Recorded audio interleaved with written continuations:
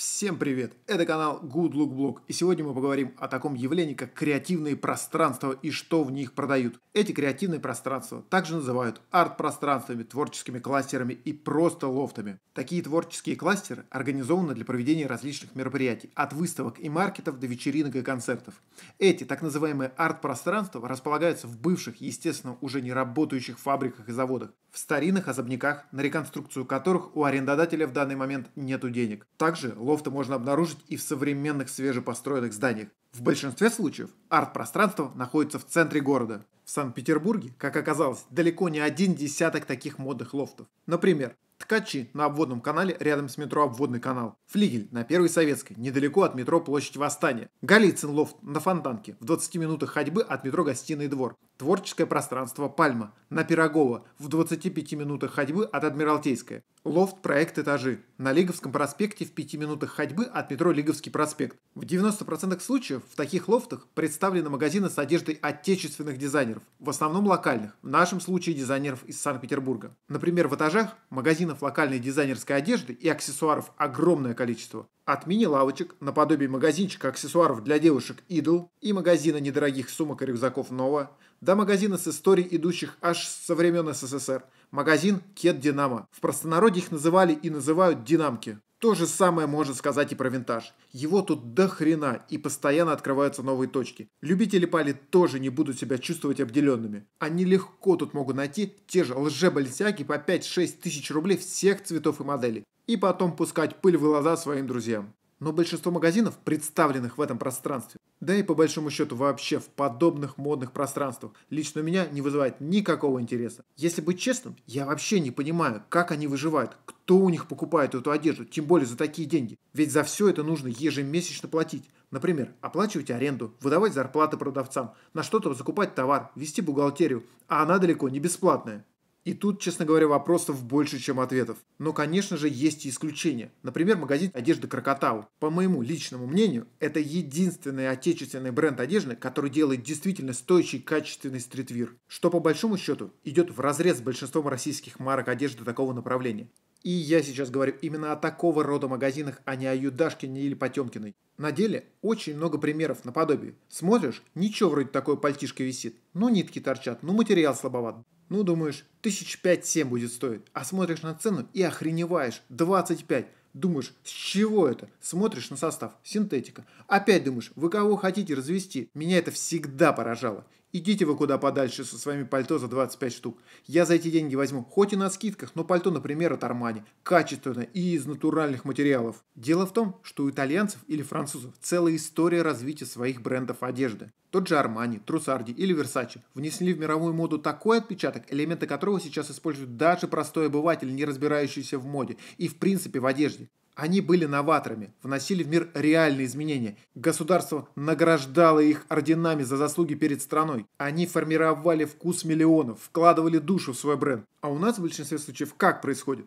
Увидели, что сейчас в тренде, например, поясные сумки или худи. После этого купили на Алике партию такого добра и начали нашивать на них свои ярлычки. Естественно, выдавая это все за концептуальную марку российского производства. Но это не мода, и это далеко не стиль. Это чистой воды рыночный ширпотреб. И такого товара, к сожалению, большая часть. Конечно, бывает, что все обстоит иначе. Лично я видел несколько таких дизайнеров, вернее дизайнерш. Все вроде прилично. Стоят швейные машины, в рулонах замотанная ткань. Модные ребятки ходят с умными лицами. На первый взгляд действительно работает креативное швейное производство одежды. А чуть углубишься и начинаешь замечать странности и нестыковки. И в реальности это все выглядит так. Девочка сказала папе, я хочу быть дизайнером. Папа купил швейные машинки, снял в аренду помещение, дал денежку на зарплату конструкторов и швей. И вуаля, девочка может заявить всем своим друзьям, что она модный дизайнер. Только она не в курсе, что ее свитшоты по 7-10 тысяч рублей никому не нужны. А дизайн, за который она, естественно, заплатила, просто украден с прошлых дизайнерских коллекций не представляет никакой ценности. И спустя полгода она начинает задумываться, да как так, почему нет продаж, вроде все круто, Вокруг ребята с татуировками и с крафтовым пивом. Подружки в джинсовых куртках из 90-х. А вокруг все такое концептуальное и трансцендентное. И все вокруг вроде такие умные, классные, модные, но ни хрена не идет. А малышка в самом деле не понимает. Чтобы что-то продавать, нужно сначала заработать имя, пройти путь становления бренда, разработать концепцию, найти тех партнеров и сотрудников, которые разделяют твои ценности, донести миссию компании, если, конечно, она есть, чтобы они, в свою очередь, донесли ее до клиента. Да и в целом, найти, а главное, удержать своего клиента, превратив его в постоянного. А у нас все как обычно. Вчерашний Вася, сегодня, возомнивший себя дизайнером, хочет признания посредством создания посредственного худи. Поэтому в таких магазинах нету четкого понимания, что за бренд, что он несет, откуда такие цены, да и вообще, что я получу, купив ту или иную вещь. Поэтому такие магазины и открываются пачками, и такими же пачками закрываются, если не больше. И зачастую бывает так, заходишь в лофт и ничего не узнаешь, одни новые магазины. И это неудивительно. Изначально должна быть идея, вера в нее, а не жажда наживы. Тем более, Санкт-Петербург, хоть и не столица, но народ уже давно начал понимать, что к чему и не хочет быть обманутым в какой-то зачуханной лавке. Но не все так уж и печально. Конкретно в ножах есть давно уже сложившийся костяк магазинов, которые наработали свою базу клиентов и успешно работают многие года. Например, такие магазины, как магазин Шу, находящийся сразу справа при входе с Лиговского проспекта, или тот же Крокотау, находящийся как раз напротив магазина Шу. Конечно же, покупать или нет одежду в таких местах решать только вам. Но на вашем месте я бы сто раз подумал и проверил, прежде чем тратить свои деньги непонятно на что. Вообще, атмосфера тут особенная. Эти обшарпанные стены, конечно, не привлекают состоятельную публику, но могут дать новые эмоции, а кого-то и вдохновить. Такие места как раз и рассчитаны на тех, кто не хочет работать на кого-то, а денег на серьезный крупный бизнес просто нет, но есть огромное желание попробовать себя в роли руководителя магазина или дизайнера одежды.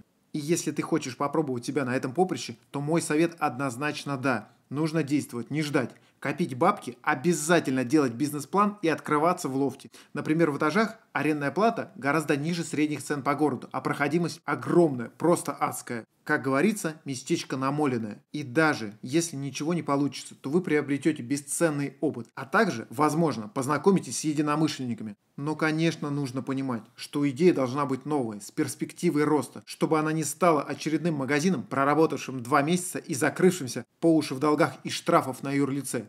Ну а если вы вообще боитесь рисковать или у вас вообще нет возможности накопить денег, даже на открытие маленькой лавки, а у вас накопилась масса ваших работ, например, каких-нибудь аксессуаров, типа шапок собственного производства, вы можете снять одну полку или даже целый стеллаж в таких магазинах, как ваш стеллаж, предназначенный как раз для того, чтобы вы проверили, популярен ли ваш товар, нужен ли он кому-нибудь. Так сказать, прощупали нишу. Но будьте готовы к тому, если ваш товар будет популярен, то через месяц в каждой лавке лофта будет продаваться такой же товар. Подведя итог, скажу, выражу, так сказать, свое собственное мнение. Для пробы себя, для реализации своих идей и открытия небольшой лавки лофты идеально подходят.